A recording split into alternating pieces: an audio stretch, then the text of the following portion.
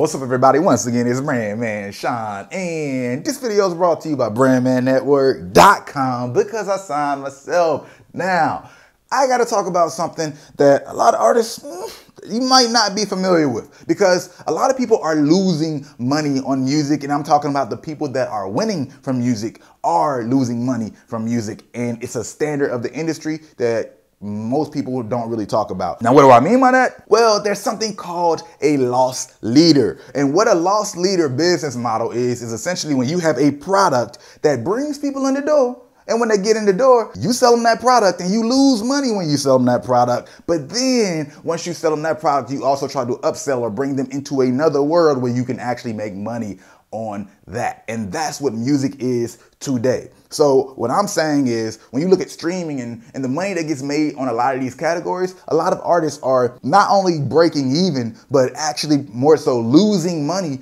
on the music, but the music is just the front end. It's marketing for them, and then they're trying to sell other things. So even if you're making like $50,000 off of Spotify or something like that, I don't know, most of the time, a lot of these artists are losing money on that though all the money you're investing in that, but then really trying to capitalize through two big categories today merch and tours. So if you want to think about this business model in a different way, let's say gas stations. So it's common that I've heard that a lot of gas stations are making money on the gas. They like I don't know if they're breaking even or they're losing money on the gas, but where they're really making that dough is the actual little quickie mart thing, right? I, I sell you some candy, I sell you some coffee or, or whatever chips, all that good stuff. So if you think about gas stations not making money off of gas, then it's not too far fetched to actually think about musicians not making money off of music. That's just the model we are in today, especially when we're not selling those hand-to-hand copies. It makes things a little bit more interesting, not to mention, you know, deals that might be taking additional cuts of your music. So why is that important to, to think about? Understand that we're bringing people in the door with the music. That's the marketing, that's the communication, and we're getting that message. In the same way you pay for a Facebook ad to be put out there, you're paying for your music to be, be put out there. And that music is an ad for your brand. This brand is something that you can flip to make other types of money, right? You are the product, or the artist is the product, and that needs to be flipped to actually make money through tours, merch, other types of products, other types of partnerships where you might leverage the asset of your fan base that you built with that brand, with that music into the brand, and then get partnerships that way and make some direct money. That is how music is being looked at today. Again, that is called a lost leader.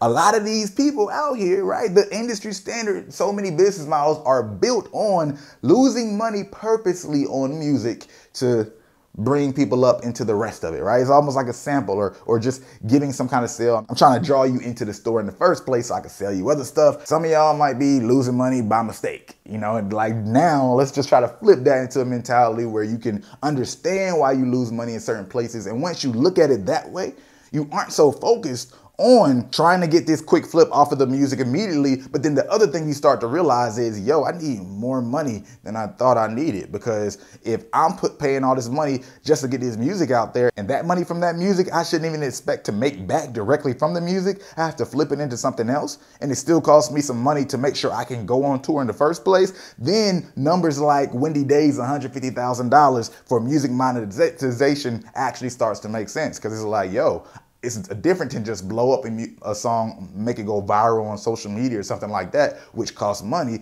It's another thing to say, yo, okay, now I got to produce this merch. Yo, now I got to go on tour or be able to get to this country to capitalize off of this or get to this state to capitalize off of this and make the, the money back. That's where the big opportunity is. That's why music is the loss leader. But that's why you need so much money to make money in music.